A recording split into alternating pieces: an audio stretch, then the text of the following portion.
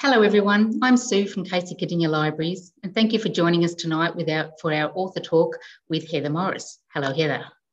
Hello. As Courtney said, it's best to keep yourselves muted, and um, we need to let you know that we're recording this session, but only Heather and I will be on the screen. Unless you ask a question later when your voice will be heard, and you can put your hand up and unmute to ask your question, or you can put your question in the chat and I'll read it out to Heather a bit later on. I'd like to start by acknowledging the traditional owners of the lands where our services and programs take place and pay my respects to elders past, present and emerging. And we can get started. Many of you will already know Heather as the best-selling author of The Tattooist of Auschwitz and Cilka's Journey. Today she's here to talk about her latest book in this trilogy of survival stories, Three Sisters. And we have a copy to give away to one lucky viewer. All you have to do is send an email with the answer to this question, which is Can you name the three sisters? And send that email to In a Nook with the Book, which is our um, Facebook page for readers. And it's the email address is ianwab at cclc.vic.gov.au. And Courtney will put that in the chat for us so you can see it written down. And then if you're the lucky winner, we'll send you a copy or you can pick it up from your local library.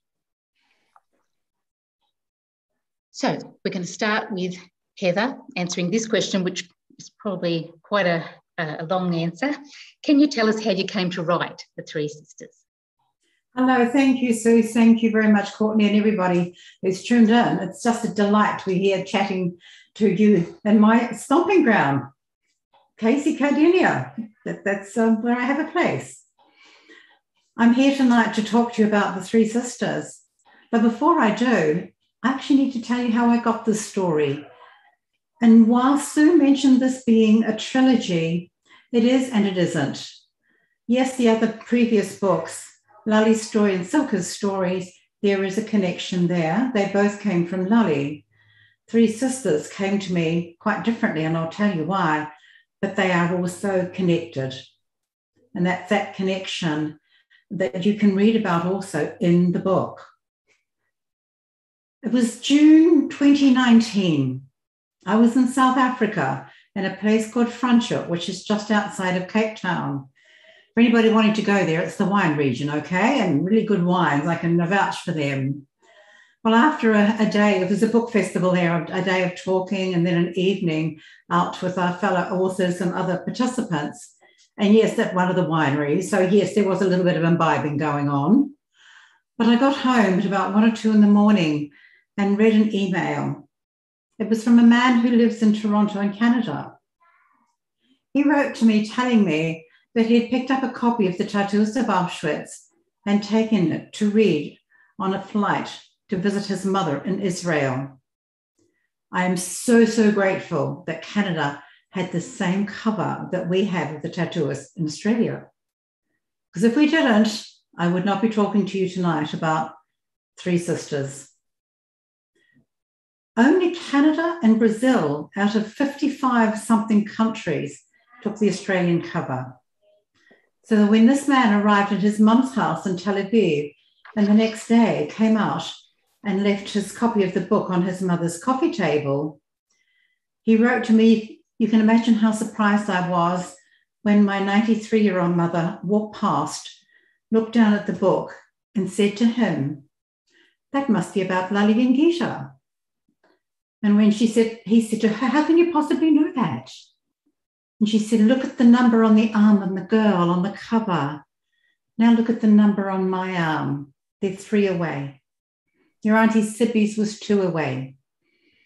We were standing just behind Gita when Lale tattooed us all. We went to school with Gita. We were on the train going to Auschwitz with Gita. They shared a block in Birkenau with Gita. So when you read that, no matter what the time is, you do not sleep.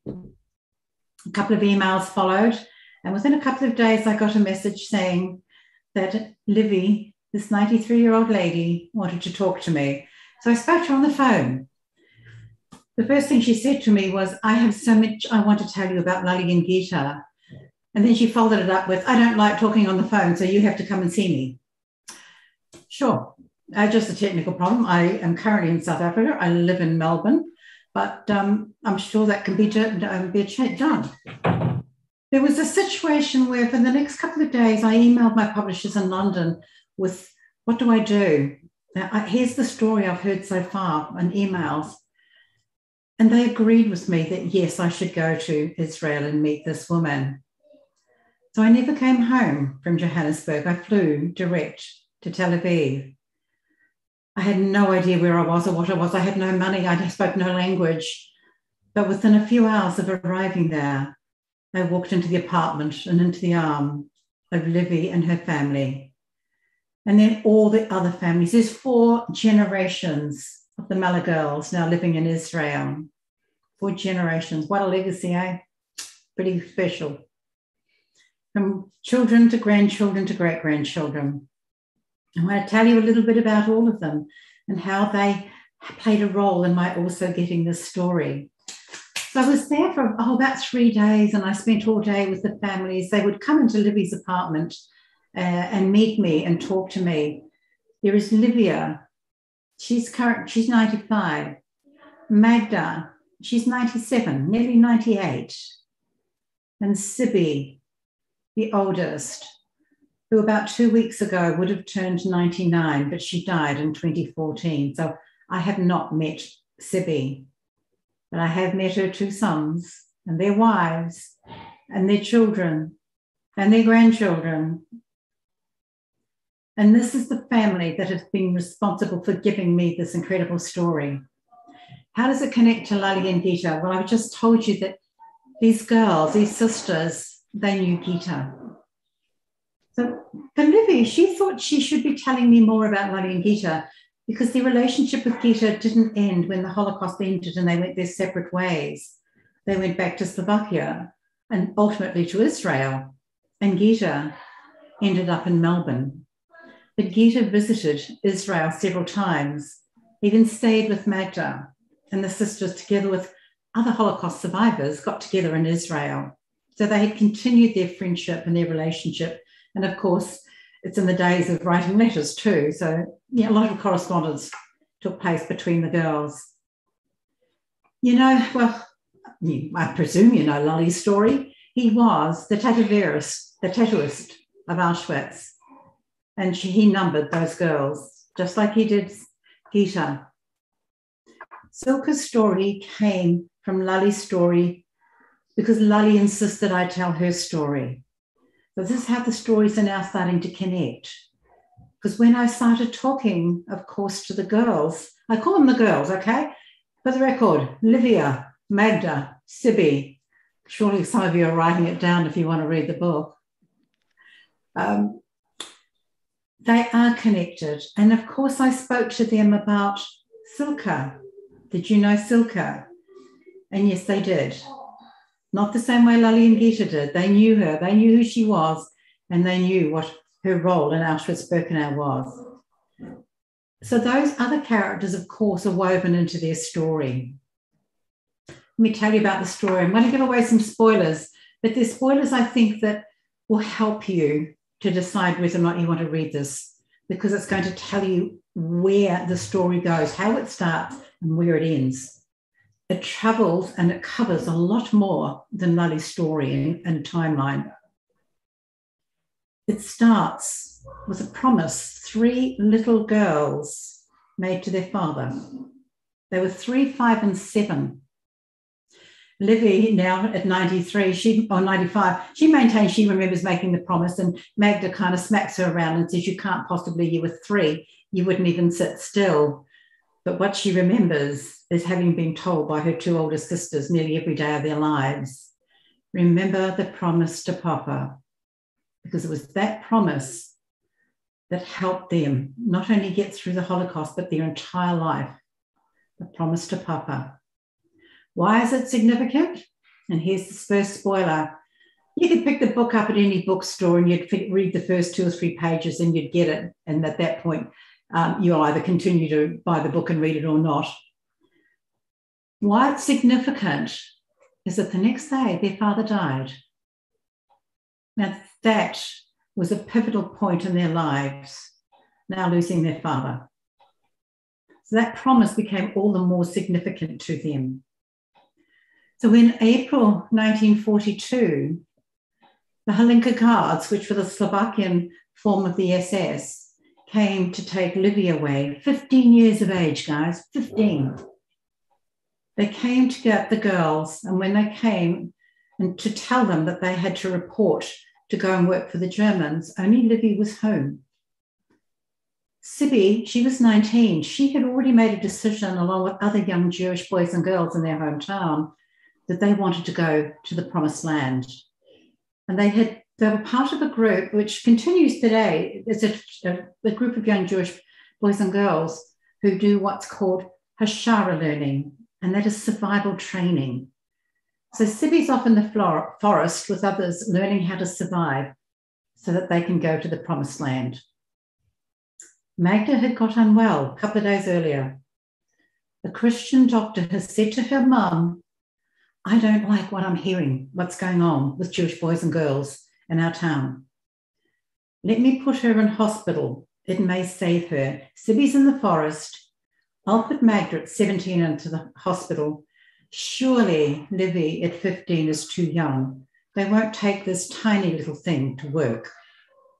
Oh, how wrong he was. They didn't care. They came for Livy, but Cibi had come home from the forest a couple of days earlier. And she said, No way is my baby sister going on her own. And so, without her name being on that list, that fateful list of probably, I think there were seven or eight hundred girls from Slovakia that were gathered together in another town called Poprad and then taken to Auschwitz. They didn't know where they were going. That's where they ended up. And of course, when Magda came home from hospital a few days later to discover she was now separated from her sisters with no idea where they were, uh, she was heartbroken. She wanted to be with them because they'd made a promise that they wouldn't be separated, and she couldn't. Now, the story of these girls plays out in that first part. Uh, it was a dual narrative of two different, the same timeline, but of course, there's two different stories taking place. Livia and Cibi are in Auschwitz-Birkenau. Magda, for two and a half years, is back in Slovakia with her mother and grandfather. She's back there hiding every Friday evening. The Hlinka guards would come to the house to find her. They came on Friday evenings because Friday evenings is the Shabbat time. It is a time when all Jewish people are at home indoors before sundown. So that was a perfect time, they thought, to come and take them. They would find them at home. Magda hid in the forest. She'd sleep overnight. Occasionally, a neighbor hid her in the ceiling in her home. For two and a half years, these girls survived separately. The horrors and the evil that Livy and Magda experienced and witnessed. Well, I, I tell you about it. I can't not. But hopefully, I tell it to you in such a way that you will turn the page and you will see what's underpinning their survival for those two and a half years. There's not only their love for each other, but the love for their sister who they just need to be reconnected with. I think if they had known that they would then be reconnected in that place, that evil, evil place in Auschwitz Birkenau, um, they probably would have thought differently about wanting to be with her. It's one of those things when talking to the girls and talking to their families, dealing with the guilt, I don't know any other word for it, that Magda experienced by not being with her sisters. When she found herself in Birkenau and saw how Livy and Cibi had lived for two and a half years, it, it's been a terrible cross for her to bear whilst she was sleeping at home in her own bed. Yes, they didn't have much to eat, but they certainly had more than her sisters did. Of course, her sisters, Livy and Cibi, all her lives have told her you don't get to feel guilty. We were happy you weren't here. And that was the difference. They were happy she wasn't. She was angry that she wasn't. But they were reunited in Birkenau. Now, how the hell did they find their sister in this camp, well, whatever you want to call it, where over 100,000 people were at any given time? It's massive. If any of you have been there, you know what I'm talking about. You stand at the front of Birkenau and you can't see where it begins and where it ends. And they found her. They found her. She was in a section where she wasn't meant to stay.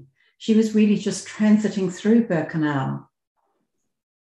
They heard that she was there because another girl, a Slovakian friend, recognized her and told Cibi. And Cibi being Cibi, by the way, Cibi, I never met her, but my goodness, from her family and from watching her on a videotape, two hour videotape, the strength and the courage of this young woman, 19. 19 is, you're a different age back in the 1940s than you probably are today. How she kept not only herself and Livy alive, but what she did for others and how she she took it up to the SS. She was gutsy, she was ballsy, and in a place where at any point in time she could have been shot for just looking the wrong way. She managed to smuggle Magda. This is a few more of the little spoilers, but reading about it is going to be just as much fun as me telling you, trust me. They got her smuggled back to the block where the girls were and hid her in there and then took her to work with them. And then there's a couple of other twists that play out. You're going to go read about them. Hey, listen, by the way, when it comes to anyone who wants to read this, the, the story, can I make a suggestion to you? You start at the end, not reading it, but looking at the photos. I'm so happy that the family have shared with me many, many photos of these girls as young girls, as wives, as mothers, and as are now old women. And they're there in the, in the book. Have a look at them so you know who it is you're now reading about. Uh, I think all the ones that we've got in the book, I was only the other day, I was looking at them, and given that I've seen these for many, many months, and I looked at them and I went, something struck me about them that I hadn't seen before in them. And that is Cibi, the eldest, is in the middle. There she is with a younger sibling either side of her. And just, it wouldn't have been planned that way because every ad hoc the photos, but you can just know that it was an automatic thing for her to be there so she could embrace both her younger sisters and care for them. But here's the other thing about the sisters. While Cibi definitely had that role of being the carer, the person who Livy freely admits kept her alive. She would not have survived in Auschwitz Birkenau without her. But on the other hand, when I hear Cibi and read her testimony, because she made this testimony for the Shoah Foundation, and I hear the stories about the girls, there were many times that those other two younger siblings stepped up and took over that caring role, that role of being I'm now going to be the protector of the three of us. And that played out not only in Auschwitz Birkenau, but really importantly on the death march that followed their time there. It plays out today. In some ways, Livy, the baby, she is now the matriarch. She's still got that very much of a um, look at me, look at me, I'm the baby, everybody run around after me, even at 95.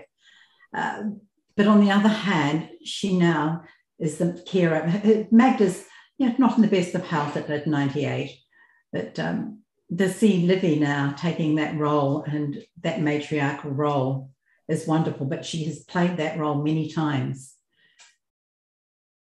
18th of January 1945, the Russians are coming.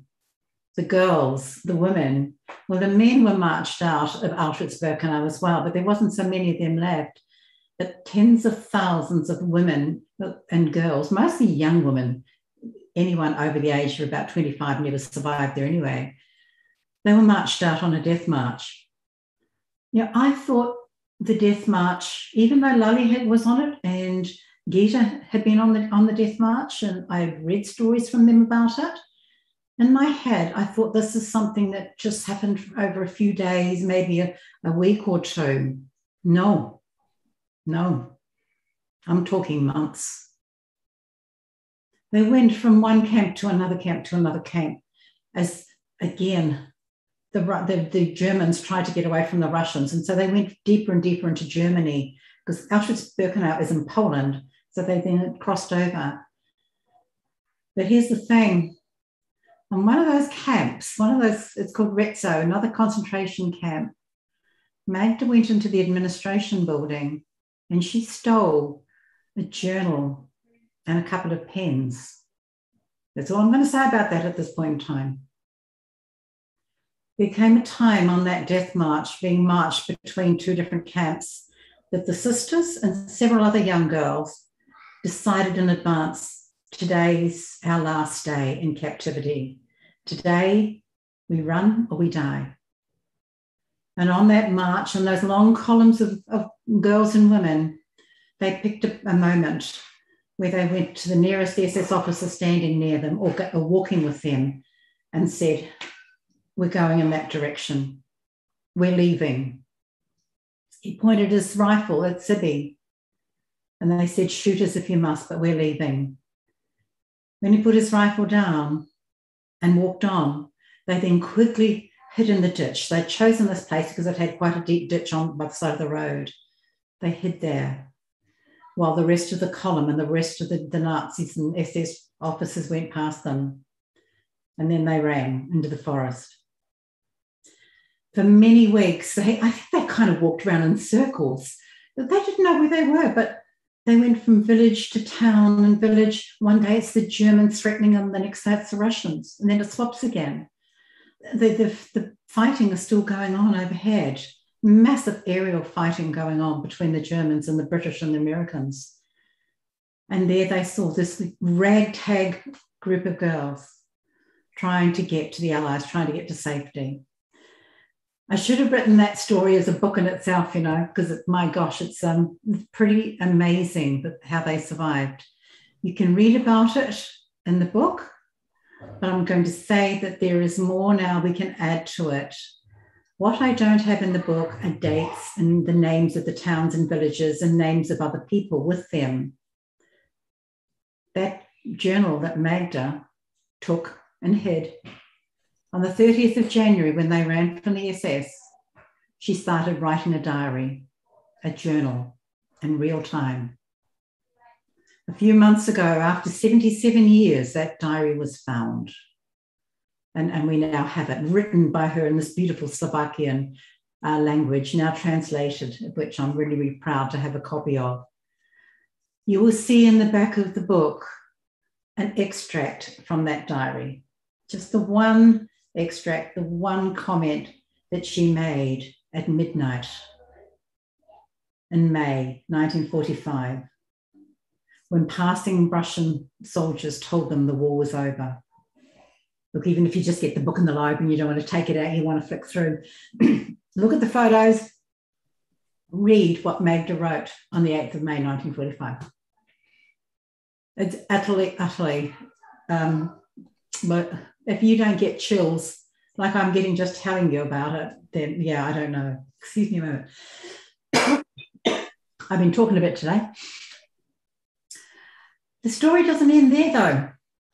No, they finally do get to the Allies. They do get to what was called a displaced person camp in Germany, where the Americans, the Soviets, and the British are now dividing this part of Germany up into their zones. That's all well documented in history, how those three nations then decided, okay, spoils of war, we'll all have a little peace. But they all the people. Excuse me. mm.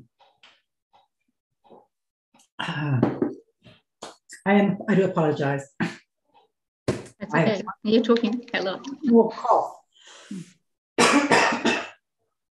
now I'm good. And that displaced persons camp, the first people they came across, I don't think I put this in the book, but they told me were actually American soldiers, but they couldn't understand them the Americans went and got a, a Russian um, interpreter who then interpreted with them and said to the girls, Oh, would you want to stay with us or do you want to go with the Russians? And Cibi apparently said, Oh, we'll go with the Russians. I think they might regret that. Life in America may have been a little bit better, better post World War II. However, uh, history dictated that they went with the Russians. They were then formed into their nations the Polish, the German, the Czechoslovakian, the Hungarian, the Greek, all these different nationalities. Now, what happened uh, next when they were then subsequently gathered together to be returned to their home country? I'm going to talk about part of the book and my writing of it. When you're writing a book that's somebody else's story, you don't get to have any input into it, either the words or the emotions of it. There was one point in this book that that didn't happen for me. I didn't realize. I kind of realized, but I didn't. I think I hoped I'd get away with it. When this book was written and it was in first draft, or pretty good first draft, before it went anywhere, it was sent to Israel to the families there. It was imperative that the sisters, the children, the grandchildren, adult grandchildren, got a chance to read this manuscript and then raise any objections or any concerns they had about my telling this story, my writing. Had I got it right? You know, I said to them when we sent it to them, now, this hasn't gone through the, all the real editorial process, so there's going to be typos and grammar. Don't worry about that. Your job now is to read the story. Yeah, but two of them still couldn't help themselves, and they sent me back pages and pages of you've misspelt this word, and I really think if you should have a comma, not a full stop after this. It was hilarious. I thanked them very much, but um, I left that up to the experts. But out of the comments that did come back, other than a couple of little tweaks, oh, that was Livy that happened to, or not Cibi, there was only one thing they said to me, you got it wrong. Livy and Magda said you got this wrong.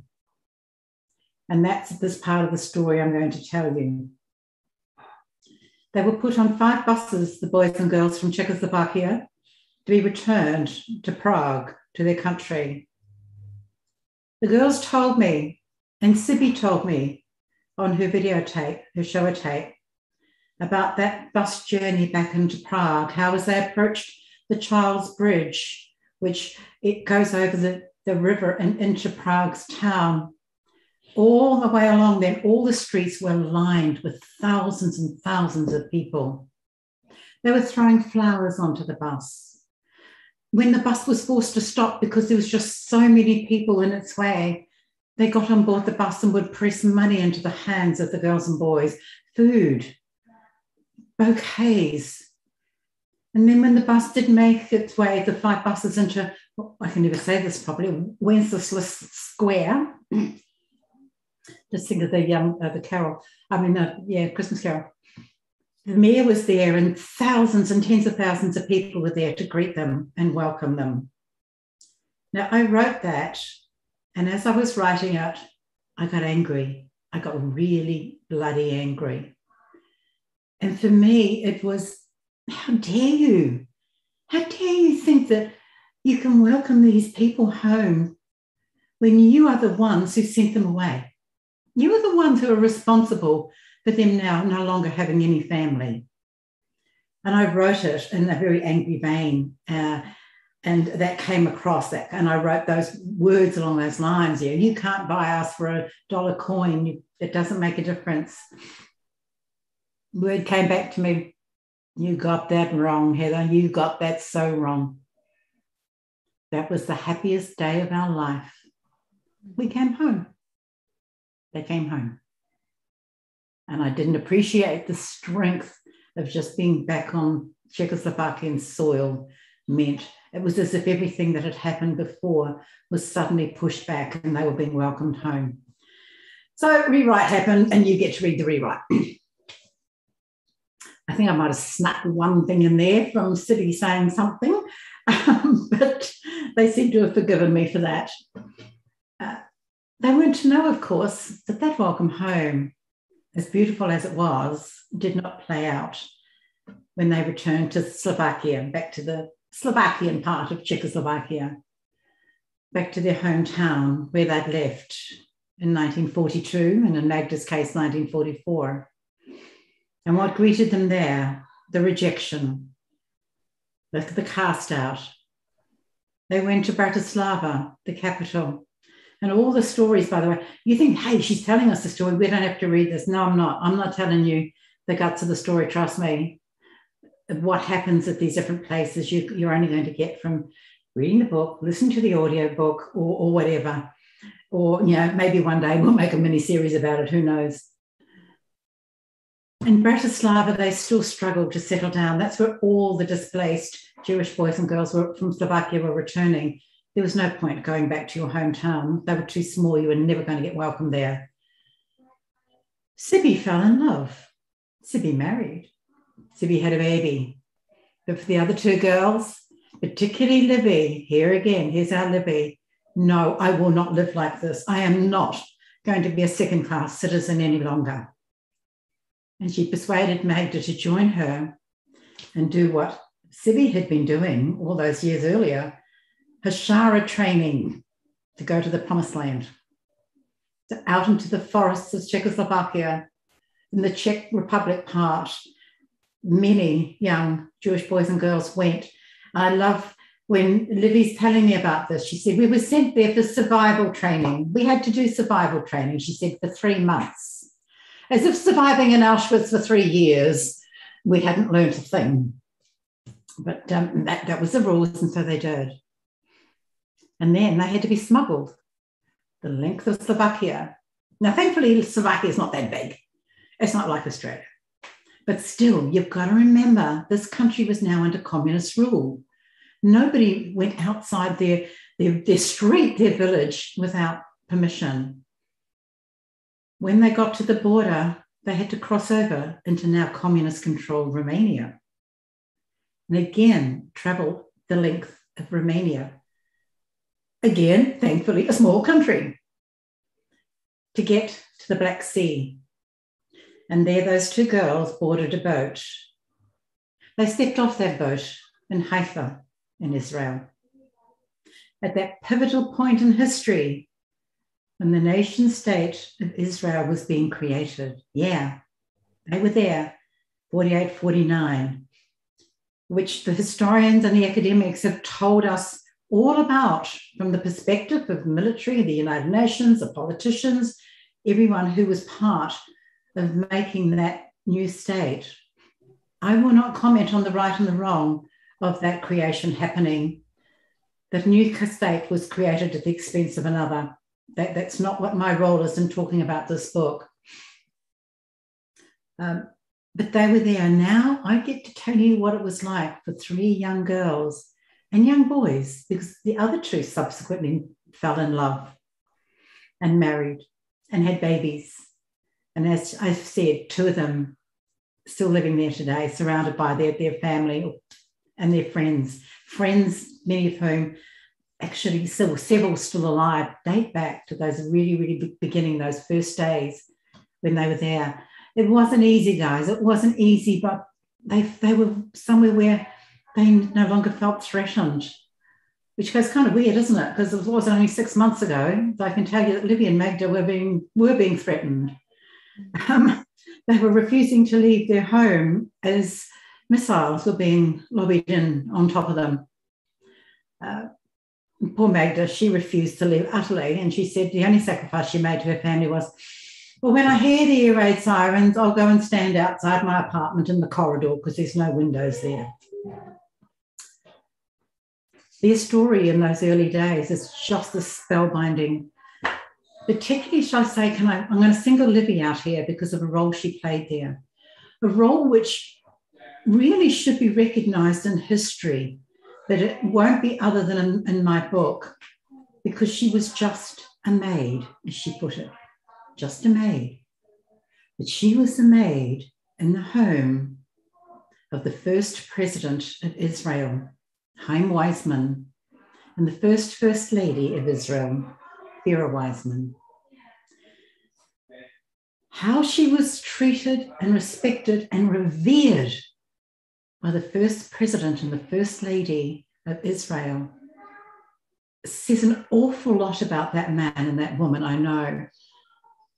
how they would tell her, particularly Chaim Weizmann, the president, when he would meet her out in the garden, their home, by the way, which is still in Rehovot, the presidential palace, they called it. It's a very big home. And the Weizmanns made big gardens, they big into gardens. And Livy became not only the maid for Vera, but also she became the floral arranger for the whole house because she loved the gardens.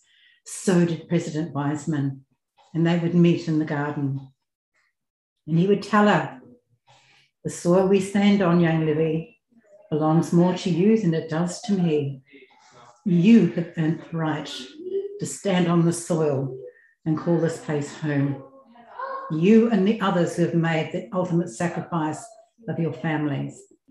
Now, not only did he talk to her like that, but the first Prime Minister of Israel, Ben Gurion, he used to have to come to visit the president in, in Tel Aviv because even though the parliament was in Jerusalem, uh, Weizmann was quite unwell. In fact, he died as president and he died while Livy was still working with him or for, for him with him. I don't know how to phrase that just quietly. but when Ben Gurion came to visit his president, he sought out Livy. He took her arm and he kissed the numbers on it every time he could find her. He too revered this young girl. And if she doesn't see it that way, to her, she was just an ordinary girl like everybody else. But I know this not only from her, but from the other sisters in the family. Uh, that when she worked back late, Vera Weizmann would say to the president's driver, In this limousine, take her home. Home, by the way, for her and her husband, was a goat shed that had previously housed goat on a small farm, goats on a small farm a friend of theirs had. She jokes and laughs that when Ziggy, her husband, lay down at night and he stretched out full, his feet were outside. So it wasn't even big enough for him to lie straight on the floor. No beds there. That limousine this can be seen today in the Weizmann House, which is now a museum. It still exists there. It was given to him by Henry Ford in person. Henry Ford made two of these incredible vehicles, only ever two.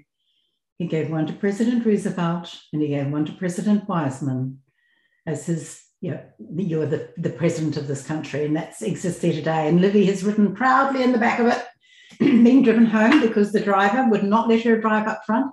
No, the First Lady said you got to sit in the back. This role that this young girl had in that part of Israel's history, uh, you know, they, they don't feature, do they? The people who are there behind the scenes. It, it exists today. Who's behind the scenes with our leaders who are making a difference? But they're never recorded. I'm so proud to be recording Livy's role as the maid in the Weizmann house she goes there every now and then, takes her family to show them around, and the guides that are there, when they see her coming, step aside and say, Look who we have here today. We have somebody who now can take over and talk about this place. Both President Weizmann and Vera Weizmann are buried there. They say Livy was there when he died. And one of those photos you'll see in the back, it's Livy's wedding photo. There is Livy and her husband and standing beside her, Vera Weizmann, who insisted on being at her wedding, even though she'd only recently lost her husband. so, what I've got for you is a story that well, it starts back in the 1920s with the promise by three girls. I end it because I had to end it in 1955 when the youngest of the, the children of the three sisters, the Miller girls, was born. Her name is Dorrit. Um, Sydney had two boys. Magda had two girls. Livy had a boy and a girl. I mean, you, you couldn't plan it, could you? Six cousins, three girls, three boys. There's now a smattering of, of uh, grandchildren and great grandchildren. Uh, and they are, I think, the luckiest kids. They now get to not only know about their family story, but they can proudly know that it's being shared around the world and it will be. In doing the research for this, I don't just listen to the sisters. Of course, they are, and the families. That's 95%, of course, of what the story is about, is they're telling. but I do go and do research in the background too, just to confirm things. And here's, here's an example of things I need to confirm. When writing about the Holocaust in particular, you do not get to deviate with the timelines, okay? I, I, get smacked around enough by the odd academic and historian for my, the way I write stories, but I never deviate from the timeline because it's there for everyone to know. So when Livy tells me that she remembers one day in Auschwitz on Birkenau eating an olive for the first time. She thought it was a grape when she found it and amongst some food, because I used to try and smuggle food when they could. And she had this thing and it tasted revolting. It was not a plum. And it came because at that point in history, the people coming into Auschwitz Birkenau, the Jewish boys and girls, came from Greece. And so for me, then going and researching you could I can find that out. When did the girls and boys from Greece come in? Then I know how to insert that little vignette into my storytelling so that it ties in with the timeline of that happening. And there were several other things that Livy told me that, and she couldn't quite remember the date. She just knew of the events and knew who they were and what the people and the players were. It's not like she had a calendar on a wall every night. She could flip over and see the date and time. So the research I do does help me center their story, their vignettes into the exact timeline of that horrific, evil place we call Auschwitz Birkenau.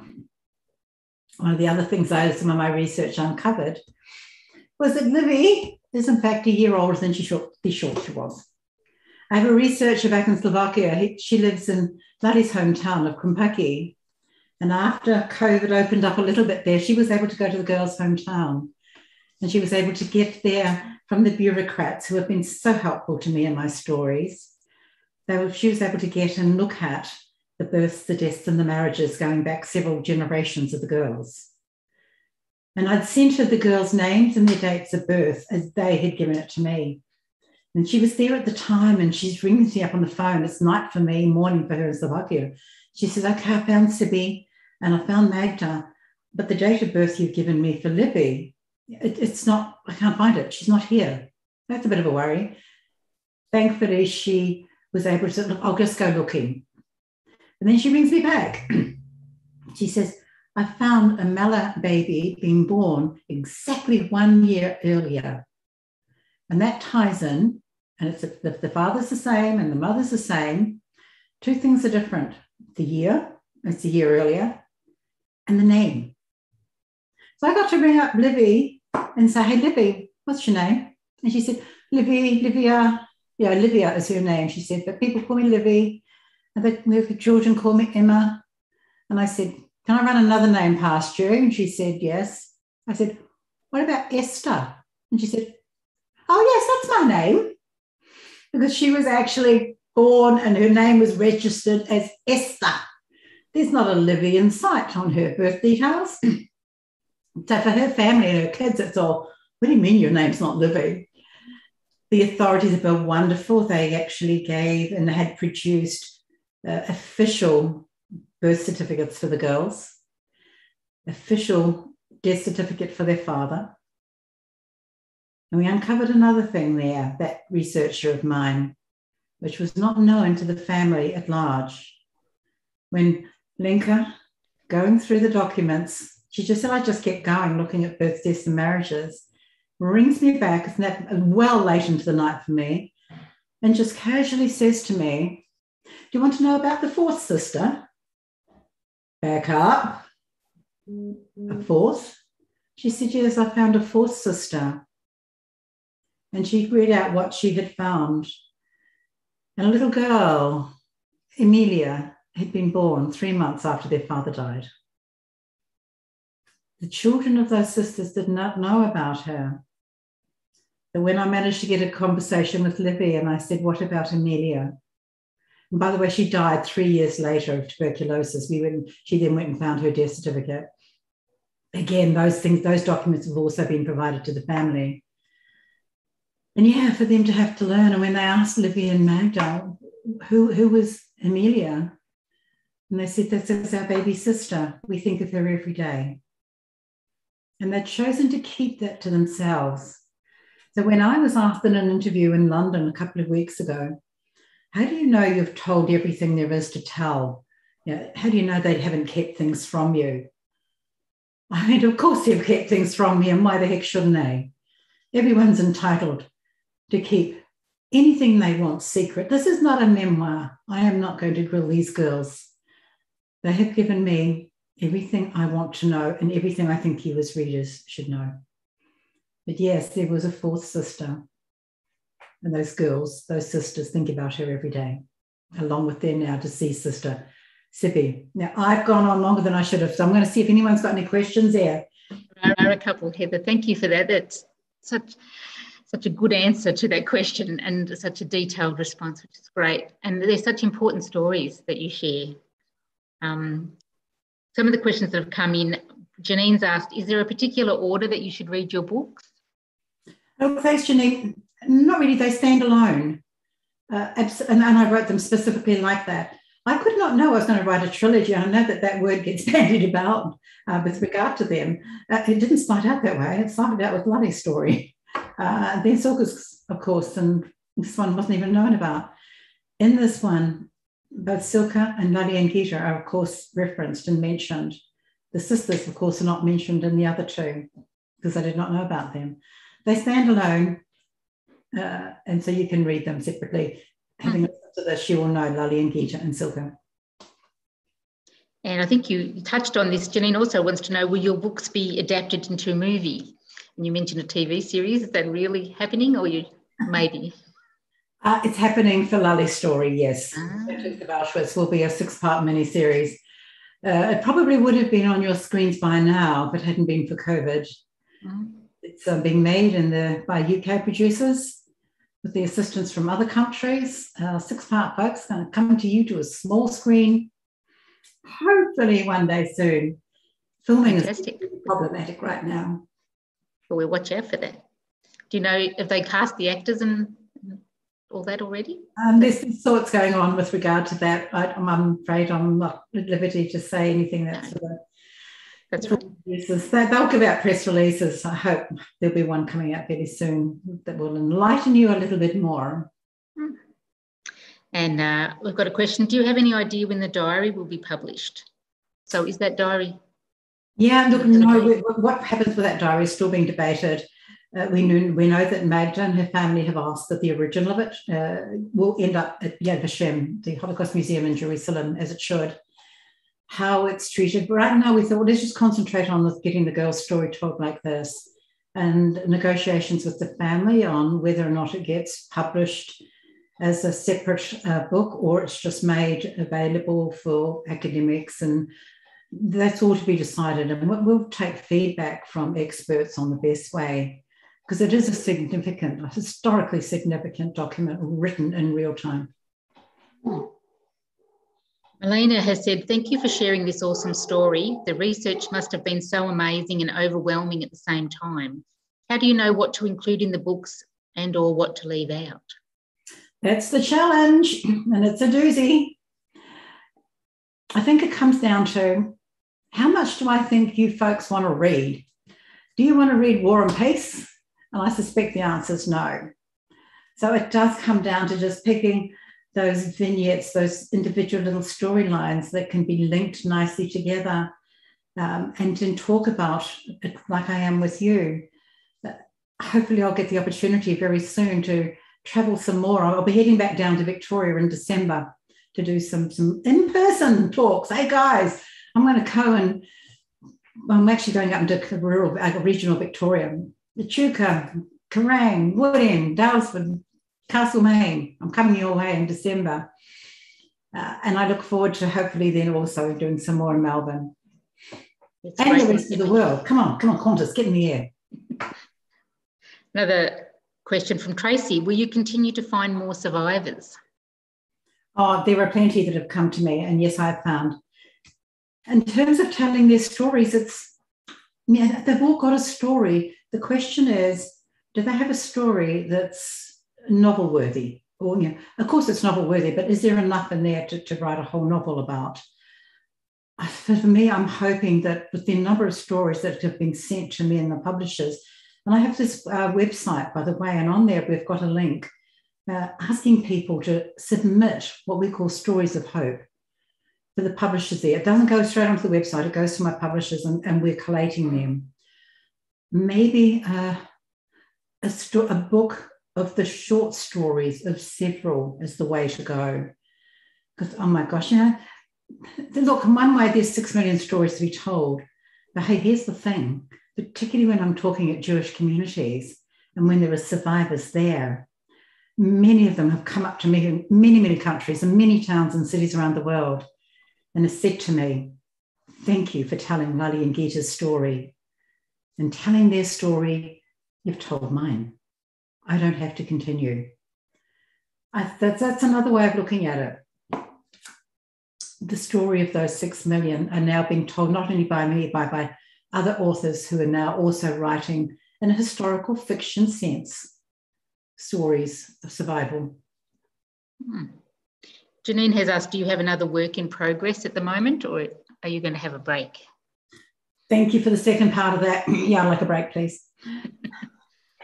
I've written four books in under four years and I love traveling and I love being talking in person to people here here everywhere. And I've asked, can I can I have a little bit of a break? By, by having a break doesn't mean not going and talking and traveling.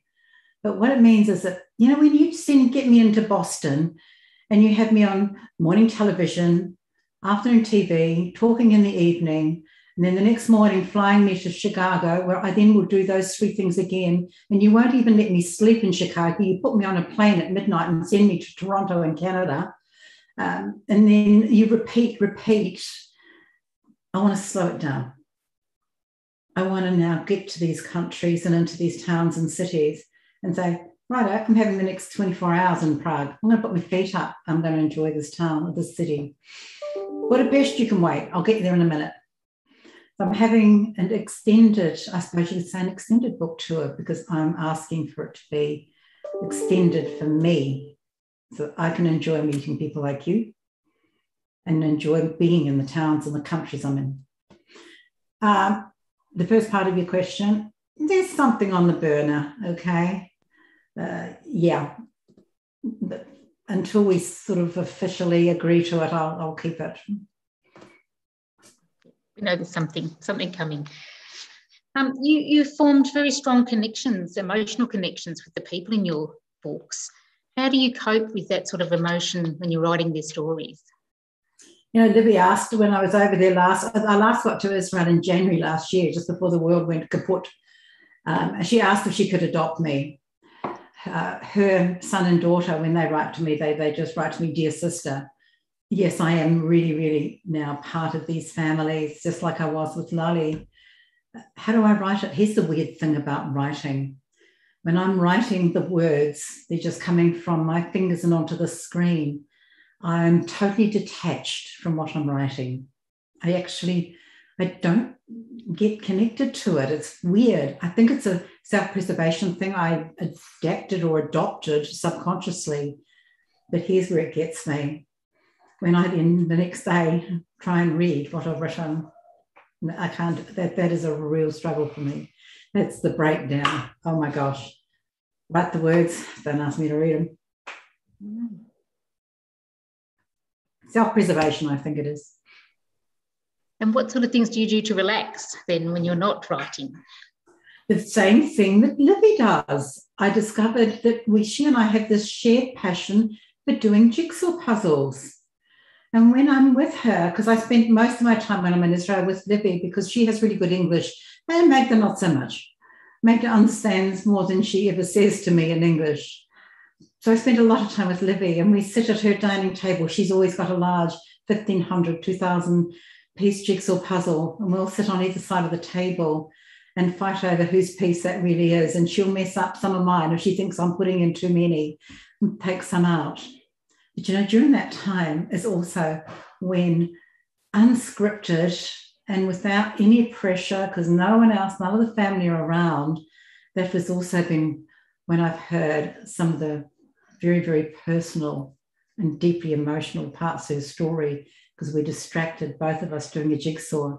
She might think I'm distracted, but actually I'm taking it in. and I also do my own. I've always always got one on the go too. Very good.